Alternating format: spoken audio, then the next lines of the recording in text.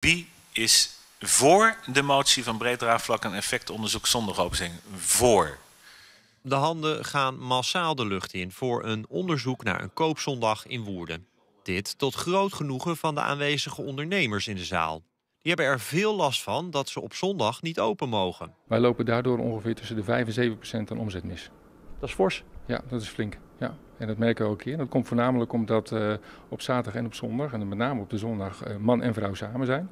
En dus ook vaak samen de grotere aankopen uh, beslissen. En daar zie je die aan, hogere aankopen kopen. En dat scheelt een stuk in de omzet. Minder blij is de fractie van ChristenUnie SGP. Wij geloven dat God als onze schepper het beste met mensen voor had. Zo heeft hij ons ook een dag gegeven om de broodnodige rust te geven.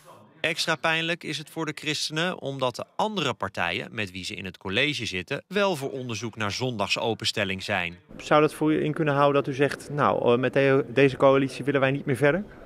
Ja, dat is op dit moment een beetje een, een als-dan vraag. Dan ga ik misschien ook reageren vanuit de emotie. Uh, dat is nooit goed. Uh, wij gaan daar eventjes uh, rustig over nadenken. we hebben nu reces, dus we kunnen ons eens even bezinnen. en nou, na die tijd dan, dan gaan we daar weer op door. Twee jaar geleden werd binnen de brede coalitie nog afgesproken om de zondagsrust te behouden. Maar de tijden zijn veranderd, vindt Elias Bon van Sterk Woerden. Om ons heen heeft Bodegraven, Rondevenen en andere gemeentes hebben de zondagen geopend. En dat heeft dus een effect voor Woerden, het heeft een economisch effect. En dat bestond in 2014 nog niet. Dus dat is de reden dat we er nu opnieuw uh, willen onderzoeken.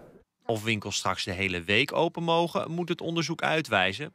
Maar de ondernemers zijn in ieder geval hoopvol gestemd. Uiteraard hadden we natuurlijk liever gehad dat de motie dusdanig was dat het gelijk werd aangenomen en dat we morgen in principe open zouden mogen. Maar uh, dit is een goede eerste stap.